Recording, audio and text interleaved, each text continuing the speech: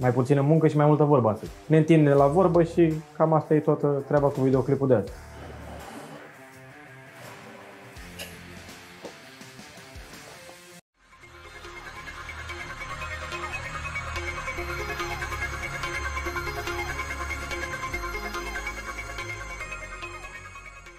Salutare mai papanașilor! Dacă ești nou, bănuiesc că știi ce ai de făcut, adică apasă și tu butoanele alea, nu știu, pe aici, undeva, nu fi chitră. Dacă ești vechi, urmărește în continuare că știi cum să treabă. Astăzi, după cum se vede, n-am nimic, niciun ingredient, deci nu o să gătim nimic, o să stăm de vorbă, ne întindem la vorbă și cam asta e toată treaba cu videoclipul de azi. Nu mai gătim, nu mai facem nimic, doar vorbim. Așa că haideți în comentarii cu întrebări. Vreau să aud ce curiozități aveți despre mine, dacă aveți. Dacă nu aveți, hai să vorbim. Mai puțină muncă și mai multă vorbă astăzi.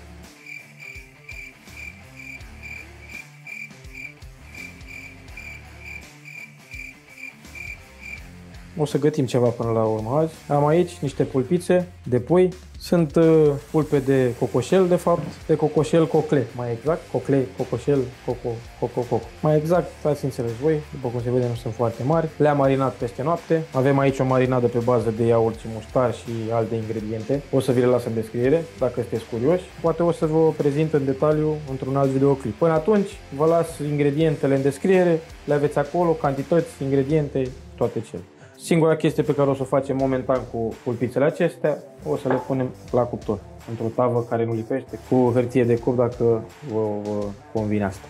Dar eu am aici o tavă care nu lipește, deci n-am nevoie de hârtie de copt. Pulpițele le-am uh, curățat frumos și, după cum se vede, o să se mai vadă și mai frumos la final. Mai au nici piele pe pe el. Cum îmi place mie să fac aceste pulpițe este să le las la 140-150 de grade 20 de minute 30 maxim, iar apoi să măresc temperatura la 200 de grade până când se rumenesc frumos. Adică și asta ar mai însemna de 6 minute. Dar verificăm și vă spun la final cam cât a fost timp. One eternity later. Și cam așa arată pulpițele mele. Le-am lăsat, după cum am zis, cam 25 de minute la 160, iar apoi am crescut temperatura la 200 până să o rămâni frumos adică să zicem încă 5-6 minute. Și asta este cu gătitul pulpițelor. Și după cum se vede, aici am niște zeamă de la ele, pe care normal nu am aruncat-o, și un sos velute pe care o să-l pun peste și îl gătesc câteva minuțele. Bine, de fapt încorporăm și cam asta e. Sos velute cu stoc de pui mai exact și am păstrat și zeama care a rămas de la pulpe. Sau cum îi zicem noi în termeni românești, am păstrat și seul. Săul. Și am amestecat cu sosul velute.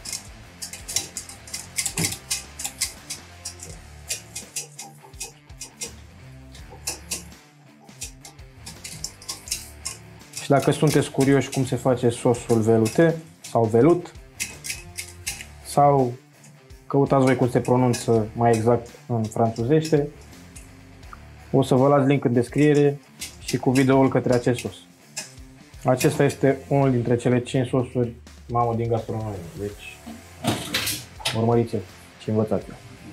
Și acum pentru că după cum ziceam, poze și plating-uri și am aici brocoli, tras în tigaie frumos. Dacă doriți să vedeți cum i-am făcut mai exact acești brocoli, o să vă las link în descriere către brocoli și normal că o să servim uh, puiul cu acest brocoli. O să punem sosul.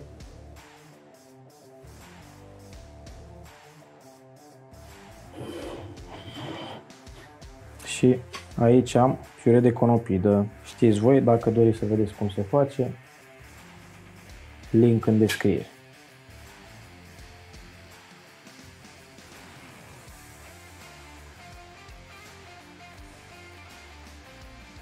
Și venim cu pizzele frumos. Și acum, punctul și mai culminant, avem aici piele de la pui pe care n-am aruncat. Și pentru că face să mă joc, am aici germen de, de am aici germen de ceai.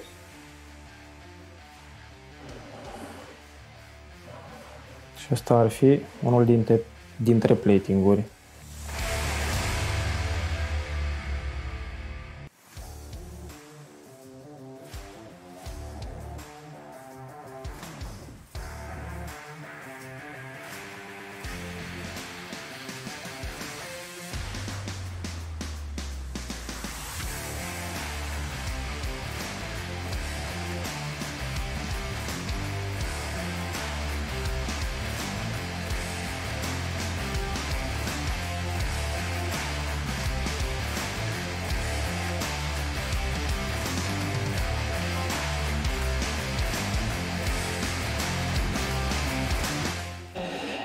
Și asta este platingul numărul 2.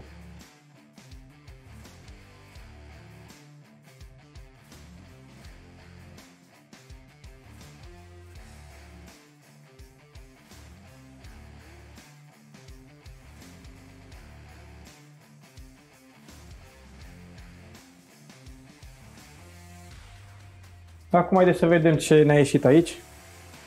Să vedem nebunia asta. Vedem ce e asta. Ce frumos se rupe cale.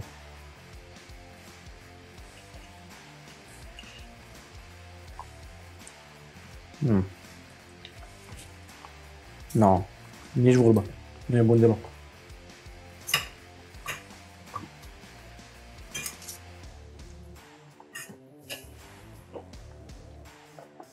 Acesta a fost cocoșelul de azi, adică rețeta de astăzi. Dacă ți-a plăcut, bănuiesc că știi și tu ce ai de făcut, adică apasă butoanele și mai fi titră. Dacă nu ți-a plăcut, ai așteaptă și tu până data viitoare, poate o să fac... Poate... Poate... Poate o să te facă să placă, cine știe. Așa că, pa!